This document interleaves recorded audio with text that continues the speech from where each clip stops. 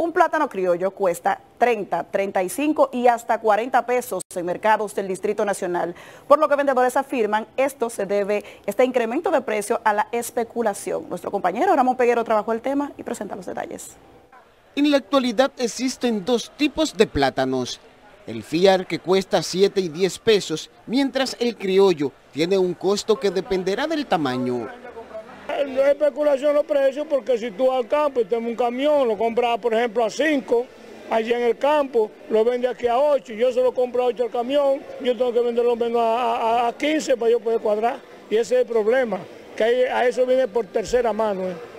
Estos comerciantes explican cuál es la diferencia que tiene el plátano Fiat del criollo y por qué la variación en su precio.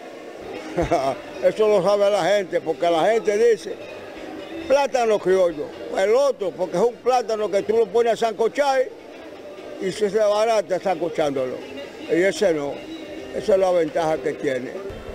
No, eso nadie lo compra. el gobierno dice que están baratos. Los FIA, eso nadie lo compra, pues eso está barato. Ni eso es tan barato ahora mismo. Compraba 10 pesos, está barato, pero la gente no lo quiere comprar. Yo no me había mentido de, esos de la situación es calificada como preocupante por amas de casa que visitan el mercado de Villa Consuelo del Distrito Nacional.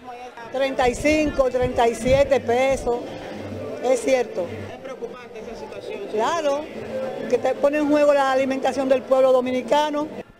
Otros dicen estar enfrentando momentos difíciles por los precios de los principales productos de primera necesidad.